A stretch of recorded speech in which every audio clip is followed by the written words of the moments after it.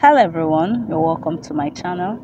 If this is your first time of joining us you're welcome. Like subscribe and um, share this video if it's helpful. If you're a returning subscriber thank you for trusting us and always coming back. Um so now i've drafted the my basic pattern. If you don't know how to draft a half scale basic block pattern. I have i'll link it on my description box. So, these are the fab these are the fabric i'm using and this is my pattern. I've already drafted out. So i'm just going to alter it and we're focusing basically on the neck um, the upper chest part of the front pattern because that's where the alteration is coming from. So let's get right into it. Now i am i'm going to deepen the neck of my if you watch the pattern very well the neck is not deepened. So i'm going to deepen it by 0.5 i'll connect it.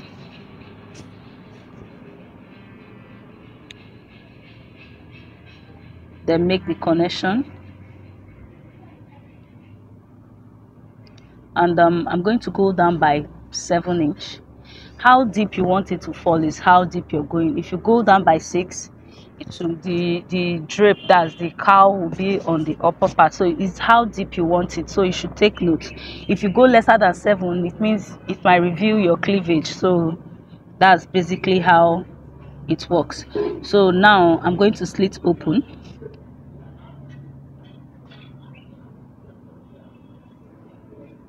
So go ahead and do yours. I'll slit open to to not to the end like a little bit so that because if you slit to the end it's going to separate from the pattern. Just slightly. Yeah.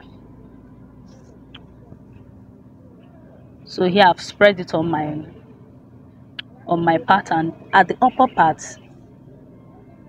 on my fabric at the upper part I left um let me say like 1.5 or 2 inch I spread it on 7 inch. That's the spread I use.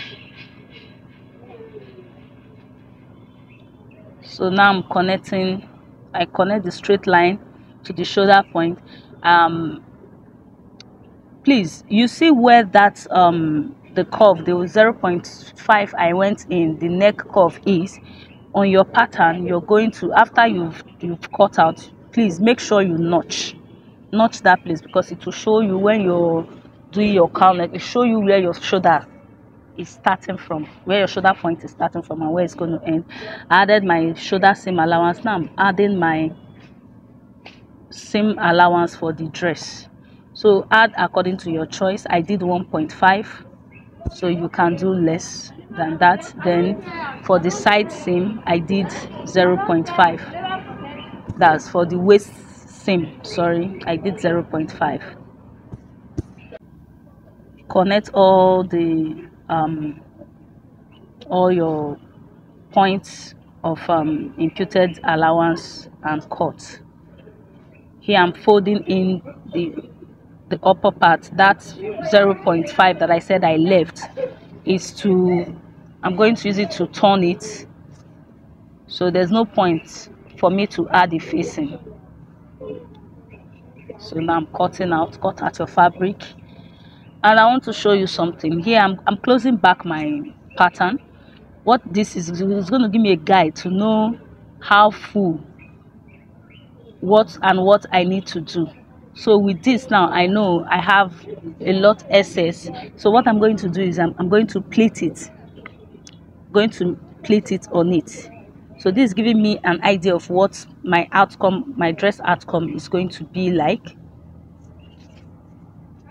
So i'm going to deepen the the the armhole because it's not curvy because of how it was placed. So now i will straighten it when i'm sewing. I i showed you that.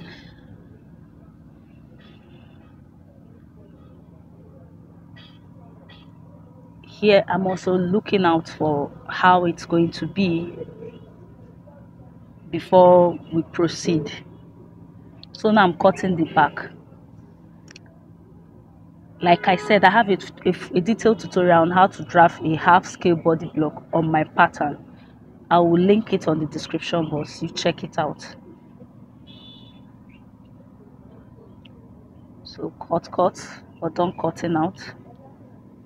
Now for the skirt part, the down part of the dress, I've placed my fabric and I'm placing my waist and my hip allowance me hip measurement. I use 1.5 allowance same allowance for the front the upper part was what I used for the down part of the dress. So now I'm connecting. For this dress because it's going to have a ruche we're using same hip measurement to the down part of it so there's nothing like contouring the like when you go in, your new part to remove some maybe one inch 1.5 depending on what if you're making a pencil skirt no this is going to be straight. So i'm going to distribute the hip the, the measurement i have to the down part of my of my skirt so this is me checking what i have. I have 12.2 so i'm going to distribute it to the down part of the dress and cut. So go ahead and do same for yours. And if you want it freer maybe you want more ease because it's ruche you can add maybe extra 0.5 to your hip measurement or or one. It's all totally up to you so i'm spreading the measurement then i will connect. This will help me have a even line when i'm connecting. So go ahead and connect yours.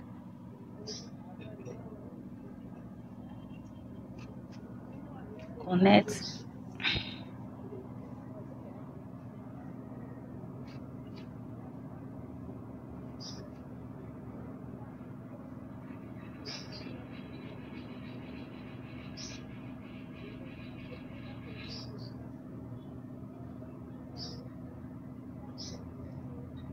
then cut out. Blend off any sharp edges you have. Now i want to do a contouring on my waistline because i don't add i'm not adding that on my front panel. So i'm going to minus 0 0.2 um, 0 0.5 sorry from the waistline. It's supposed to end if it's if i'm if i'm drafting a paper pattern it's supposed to end on my waist allow um that if that makes sense. So that's how i connected it there. So now i'm going to add my sewing allowance. And by the side of it i went up by 0.5 if you take it down you have to come up by 0.5 so now i'm adding my zero i also added the 0.5 allowance. I hope i'm not too fast. Then connect then cut out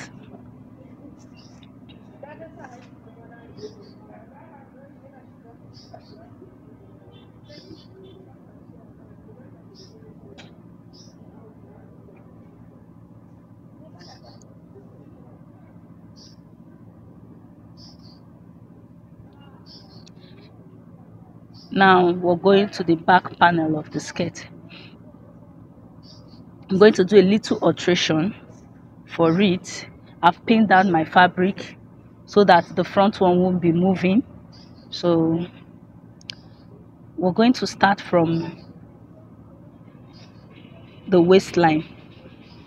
Remember in this pattern i took out 0.5 from the waistline this helps to eliminate bulge. You know that snake kind of shape you get when you sew sew your cloth. So now i'm going to remove same thing i removed from the upper part here on the lower part. I remove 0.5 and i'm removing the 0.5 i'm going to impute my waist dart leg and if you don't know how to sew waist dart i have a detailed tutorial I think on the previous um, how, skirt that I made, mini skirt that I made, I showed how to sew a dart. So now I'm going to connect it to the dart leg, where the dart leg is stopping, if you can, as you can see. So now we're going to alter the waist, that's the zipper allowance. You know, people's back, I, people's back are different. Some are deeper, some are not that deep. So you need to maybe try out over time before to know how to do it i went i did a let me say 97 percent um 70 percent with back snatching so what i did i took out one inch in that one inch I repeat, I did same for the skirt because I did for the upper part. I did same for the skirt. So that one inch now, by the waist I saw, I went in by one inch. Now I'm going to connect it back to my hip point, like so. And I will go down by five inch from my hip point. So use your measurement, use your hip measurement where your hip is sitting. Then I'll go down by five inch and I'll go in again by one inch so if this if this were to be a a straight skirt it's going to give you this um it's going to give you this um butt kind of shape like make it curvy kind of and give ease you know to the hip area and um, everything will just sit perfectly. You just have a very perfect fit. Okay now we're going to come out by that's my zipper allowance that i'm putting. So put as much as you want to use. If it's one inch you want add your one inch. If it's 1.5 you want to put add it and spread it across from the line. That line i went in by zero i went in by one inch. After the i went down by five. It, it's going to connect. That one it's going it's going to go straight down to the end of the skirt back skirt. So please take note. Because um I cut that part off while I was editing. So sorry about that. So now I'm going to add my waist uh, my that allowance for the back. If you've been following my channel you know I always add that allowance at the back not the front. Like I said it depends on what I'm making. I'm not used to putting that allowance at the back at the front sorry. So I connected my that allowance back. Now i'm going to cut. This is a freehand cutting. If it was pattern it would be easy when you're doing everything you transfer everything but this is a freehand so it's quite easy when you are used to it so now i'm going to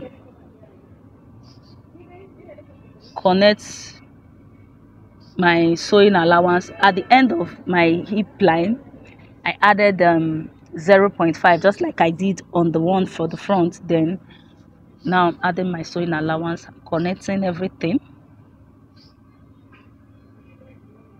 Then we just cut out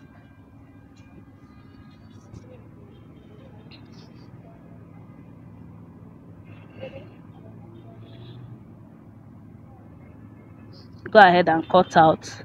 Cross check your work. Make sure everything is in place before you cut. Because once there's an error you cut you can't amend it except you're using another fabric for it. So cross check before you cut out. If there is any question you have drop it on the comment section. And um yeah if you've watched up to this part you've not subscribed to my channel what are you waiting for click the subscribe button turn on your notification bell make sure to like our video. It helps our channel. Like our video. Share to someone else. Help someone else with it. Yeah so now notch notch your zipper allowance so you know where your zip is going to sit. Notch the zipper allowance and um your dart leg. You notch your dart leg so that when you're sewing it will be easy for you to know where your dart leg is going to be. This is me notching my zipper allowance.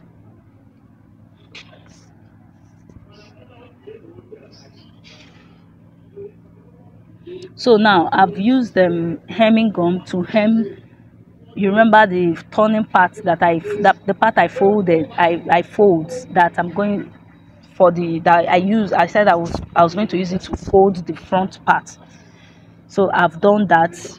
So now i'm pleating the excess that i have and this is my back um um bodice. Please make sure to I, I forgot before here i later lose the clothes and um add my facing for the back. I didn't i didn't do it here. It's not showing here yet. So please make sure to cut out facing for your back. Sorry i didn't if you're going to use bias you can use bias if you're using the fabric use the fabric just do your facing first then the armhole of this dress i piped it with the fabric. So i pleated i pleated the ss i made sure it aligned the same way i pleated for the right side i did for the left side of the the, the shoulder like so so that we have an even look when we sew so i pinned i will take it to the machine and i will sew on the added allowance i i I impute on my shoulder. It was 0.5 so I'm going to sew on 0.5 so go ahead and pin yours. Take your time pin make sure you pin so it, it secures your your work. So your work doesn't move when you're sewing. It helps you have a more neat finishing so now I'm taking to the machine and we're going to sew.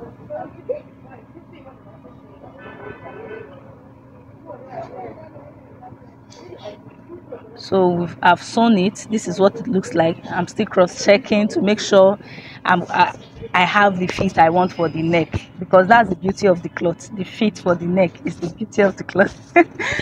Okay now I'm going to dip in my shoulder. You see it's not looking it's looking like a V kind of a thing that's not how a shoulder should look. So now I'm going to straighten it.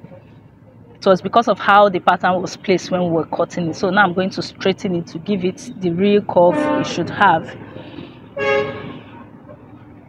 And yes so you're going to turn the there's no lining for this. So i don't know the fabric you're using. If you're if you're going to have lining do your lining turn your lining for the lower part. That's the down part. So now this is me notching the waistline the that waistline for the back. So what i'm going to do now i'm going to connect the back piece to the down part of the back piece the front piece to the down part of the front piece. So this is what we have when i was done. If you as you can see you see that there's facing here. That's behind the camera when i've loosed and added the facing. So we're going to put the zip and sew around on the same allowance then we'll come back. Here is the key to the ruche we're making. So now i'm going to turn on the side seam of it. Uh, you make sure please make sure to please make sure to iron very well. Fit your clothes and make sure it fits perfectly before you do this part. So i came down from the waistline by one inch from the waistline went down by one inch. Then from the down part of it i you can do six five. It can it's not necessary you do eight. So what i did here is i checked my my elastic. This elastic is actually very stretchy. So from my waist to where the eight inch i went up by from the down is 35 inches. So what I'm I will do I, I'm using 15 inches allowance because when I stretch it I had more than 35 inches. It's so the elastic is really very stretchy. So you try that's how you test the elastic. You test it you check the measurement left you test the you check the elastic you need. If you divide the measurement left by two elastic and you stretch it if it's up to it if it's up to the the measurement it's good. If it's not up to you increase before you cut. So i'm cutting two pieces one for this side one for the other side. Here is me cutting it out.